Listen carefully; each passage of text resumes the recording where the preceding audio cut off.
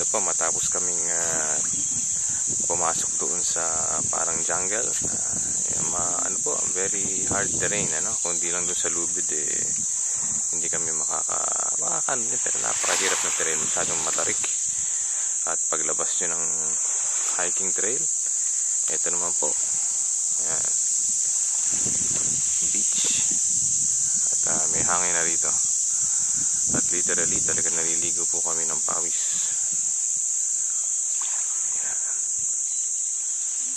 Ito